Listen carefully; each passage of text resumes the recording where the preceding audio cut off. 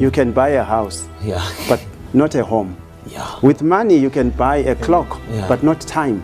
Wow. With money, Wow. you can buy a bed, Yeah. but not sleep. Yeah. With money, you can buy food, but not appetite. With money, you can buy a doctor, but not good health.